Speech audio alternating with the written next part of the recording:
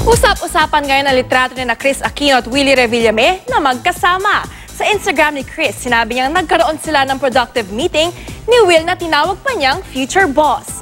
Wala pa namang kumpirmasyon ang pamunuan ng Wawa Win kung magiging co-host ni Willie si Chris sa programa. Pero sa panayam ng pep.ph, sinabi ni Kuya ni Will na lumapit sa kanyang business manager ni Chris para makapag-usap sila. Plano raw niyang tulungan si Chris na magkaroon ng programa sa telebisyon.